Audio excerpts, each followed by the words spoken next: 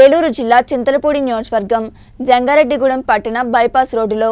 SR bunk ఎదురుగా ఒక lorry ఒక కారు రెండు బైక్లు ఢీకొన్నాయి వాహనదారులకు తీవ్ర గాయాలయ్యాయి స్థానిక ప్రభుత్వ ఆసుపత్రికి తరలించారు ఈ ఘటనపై కేసు నమోదు చేసి పోలీసులు దర్యాప్తు చేస్తున్నారు రెండు బైక్లు నుజునుజయ్యాయని కారు ఓనర్ ఏ నరసింహారావు తెలిపారు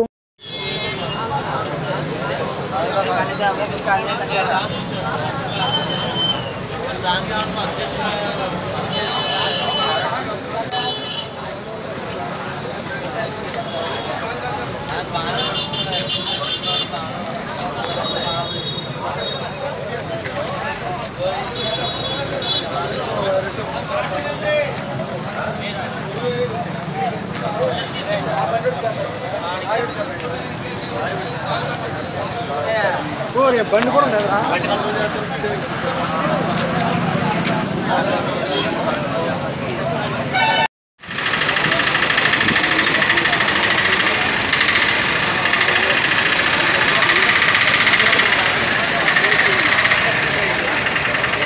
పక్కన